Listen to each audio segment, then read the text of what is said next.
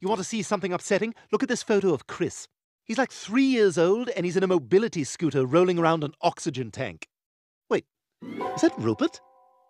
Oh, yeah, I guess it is. What's he doing with Chris?